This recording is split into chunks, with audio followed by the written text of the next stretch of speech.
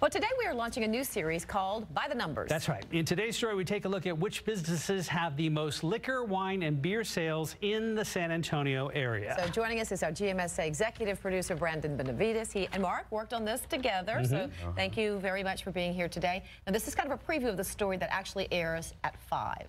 Yes, and we started the preview this morning uh, during GMSA. Mm -hmm. We went by the numbers and we talked about uh, the top three businesses with a, with the top wine, liquor, and liquor sales from 2017. How did you come up with the idea for the series? So as you know, we meet every morning. So this this was an idea that we had back in April during our morning meetings. We were talking in front of. Uh, was it back in April? Wow, it seems like it was a while, a while ago. It seems like it was even farther than that. But yeah. yeah. Yep. And so, uh, but it takes time to uh, to get the the information. So we had to make a, a request for a, a, freedom of information request uh, to the Texas Alcoholic Beverage Commission, and we received the numbers, and and that's where we're at now. All right. Well, Mark. Mm-hmm. Why do these numbers matter?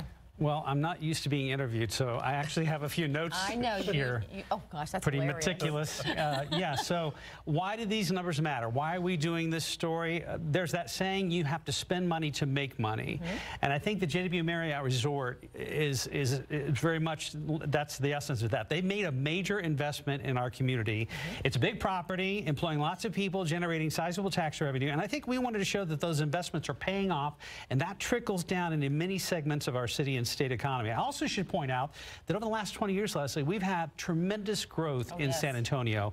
There's a whole bunch of people that are new to town, and I think when they watch this piece tonight at 5, they may be surprised uh, how to learn how big the hospitality industry and its role is in our city. Oh, very interesting. Now, you mentioned how you got the numbers, but who did you interview? Who did you get information from? We talked to the uh, Texas Association of Restaurants. The Texas Association of Restaurants and the San Antonio uh, chapter of that association. And they really gave us context because we were trying to figure out, okay, what do these numbers mean? And when I talked to them, it was the first time that I heard this actually means money to the economy. This means uh, jobs.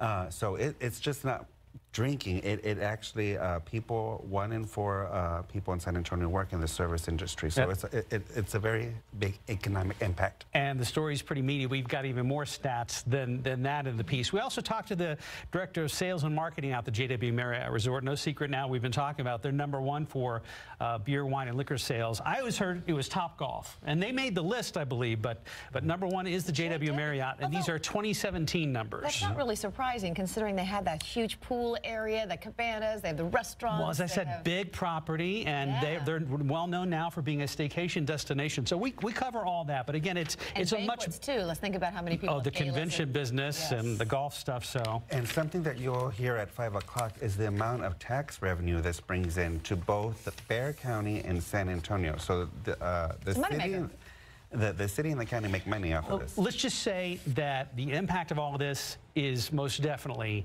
in the billions of dollars. So we're going to cover all that. And again, by the numbers, our new limited edition series right here on KSAT. All right, that is tonight at 5 o'clock. So make sure you come in. And it's kind of interesting to interview you. And thank you very much for being on the show with us again this morning. You did, you did great. How? eh, eh, right. Okay, I'll work on it.